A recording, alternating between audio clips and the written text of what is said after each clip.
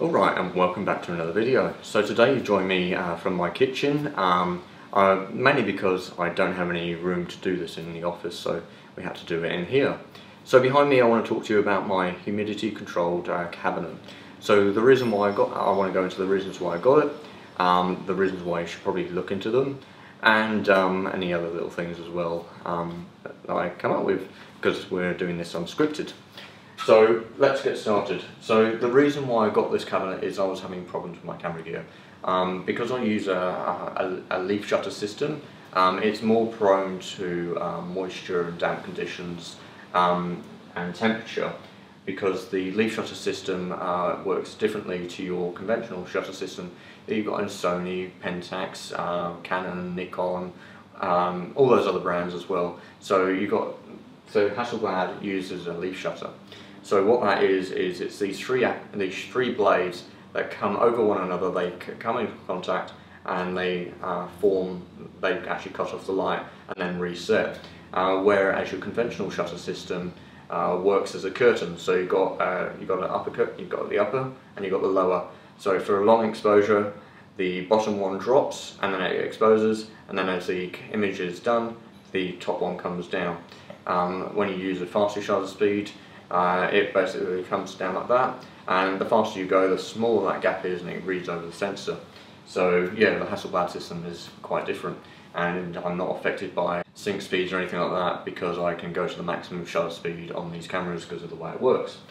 So um, yeah, back into the cabinet. So yeah, the reason why I got it is because I was having problems with my gear. I contacted, I joined a Hasselblad uh, group and uh, was talking about my problem. They'd never really heard of it before and I was trying to work out what was going on. I thought it was the uh, adapter that I use because I use a Hasselblad X1D uh, with the adapter so I can use my H glass because I love the H glass over the XCD glass and um, and I also had two lenses and I'm slowly building up a little collection of H glass as well.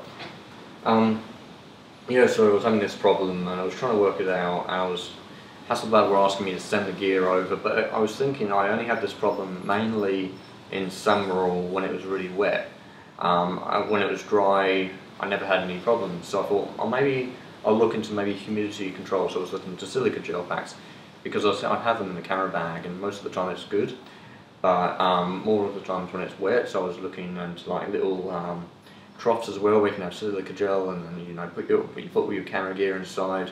Um, but I wasn't too sure on that. And then I found across, and then I came across these, uh, which are electronically controlled so you can actually dial in your um, your humidity. So the humidity uh, that um, the uh, Sirui and uh, any um, company recommends to store your gear at is 45 to 50% humidity. Anything lower than that you'll start to damage uh, rubber seals and components on your camera system. So uh, that's why I've got this set to about 45% humidity.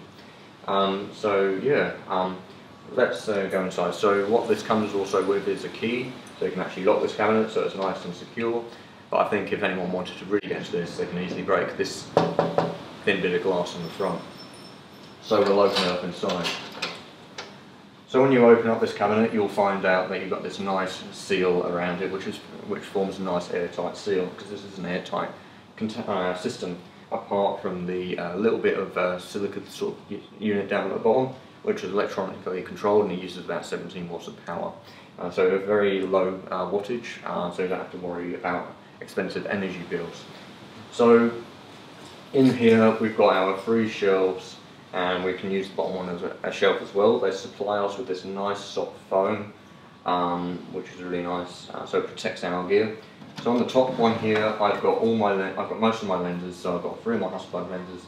I've got my 55 and my 50 to 110 10, my 28 and my 150. Um, and they are, and there, there is quite a bit of weight on this shelf and these, these shelves do a really nice job um, of keeping it all supported. Um, it does have a nice little LED light up here as you can probably see. Um, but it doesn't actually, it only just lights up the top here, it doesn't light up the rest of the cabinet. And what I might think, what I'm thinking of doing is running a light down here so I can actually see more into my, into my cabinet. On here I've got mainly my cameras, so I've got my X1D, I normally have my M50 in here as well, but since we're recording on the M50, I've got also another lens, I've got my adapter for the X1Z, I've got another lens on my um, Hasselblad which is the XCD 45mm, uh, I've got some batteries as well because it's always, always good to keep your batteries um, in the cabinet for storage.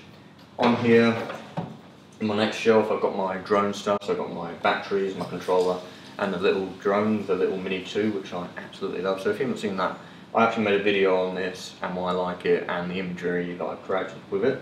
So if you are interested, I'll link it down below and you can go and check it out. Uh, I've got my little G7X Mark II here. I don't really use it, but I'm going to use it a bit more when it comes into the field of work. Uh, just as a little, uh, nice little camera to travel with as well, and my little Sony action camera. Down here I've got my all my filters, um, I've got my filter holder, I've got some lens cloths down here, got my little uh, sound recorder, my hand recorder, so um, yeah, this is a pretty handy little thing. Um, and I'm going to use that more this year for when it comes, I'm going to get a little lapel mic so I can record to that. Um, I was looking to the Rode mic uh, wireless, I think Go thing, um, but Thomas Heaton's having problems with that so it sort of um, made me sway towards that and I can actually work um, in a better way as well with this.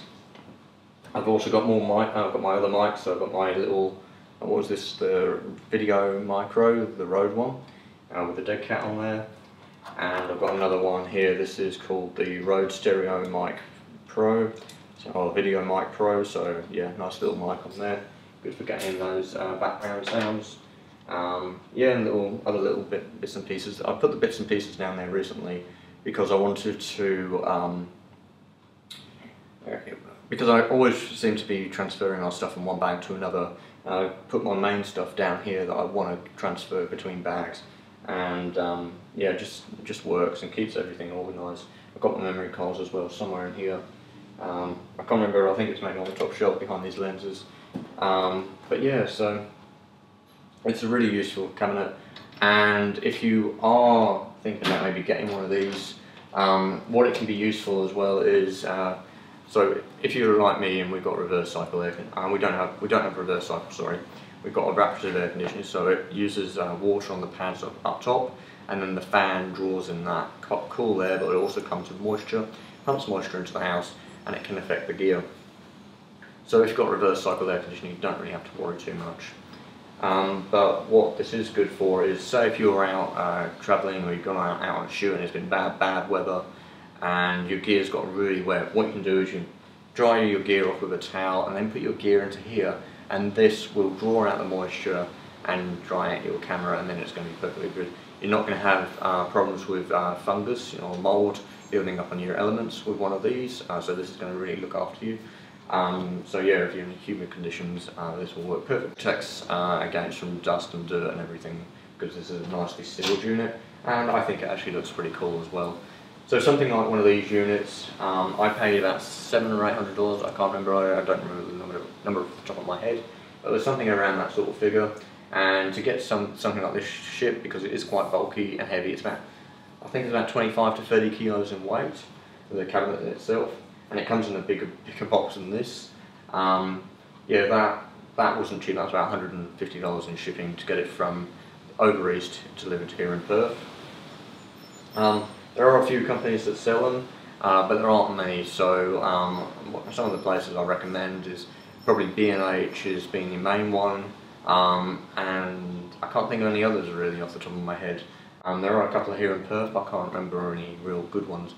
Uh, the company I bought this one from, they weren't the best. Um, they didn't even let me know they've shipped it off. Um, they didn't give me a tracking number or anything. It was so vague, and I didn't. I didn't even think I was going to get it. It took me two months to get this, so yeah, uh, I thought it was lost or damaged in, in, shipping and they weren't doing anything about it. They have a really bad reputation, um, so yeah, I wish I'd read review, reviews before buying it. But anyway, now I've got the cabinet, I absolutely love it. So this is, uh, the brand of this is Suru, uh, Suru, I, am dyslexic, so it, I, I don't I don't know if I'm saying that right, but I'll, the title of it will be, I'll put this in the description down below as well. So this is the uh, HC110 uh, unit and it's got a six year warranty as well as I've just found out by reading that down there. Um, and yeah, it's a great cabinet. Um, they do come in two, uh, three different sizes. So this one is the, the middle size one. Um, and then you've got a smaller one which is about yay big. So that'll fit nicely on your um, office desk or in your in a cupboard or something. Um, but then you've got another one which is even bigger, which has about another capacity on top of this. Um, but I didn't want anything too big and take up too much room. And if I want to, I do have this pretty loaded with gear at the moment, and I will be getting more. So I might get another one of those cabinets, and I can put that elsewhere in the office, so it's not too bad.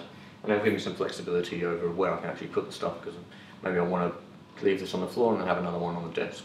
Um, yeah. So my voice is about going up to a few takes of this. Um, but hopefully you've uh, enjoyed this video. If you've got any questions, you'd like to ask anything, uh, make sure you pop it down in the comment section and I'll do my best to get back to you.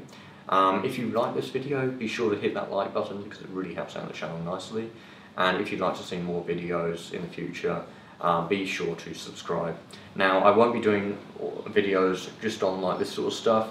Um, I'll be doing stuff like stuff I recommend if I find something useful that has been beneficial for me then I'll recommend it to you and I'll create this and I'll create some videos.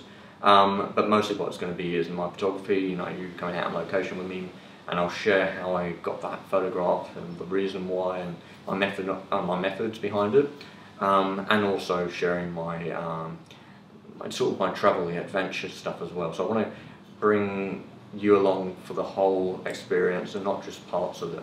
Um, and actually talk about, and when the days aren't going right, I can actually show that and uh, show the real life of what it's like to be a landscape photographer.